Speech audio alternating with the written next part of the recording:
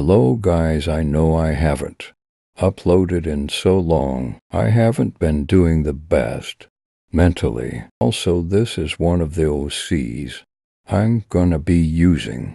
This is the other one I'll be using. It's my in real life arc.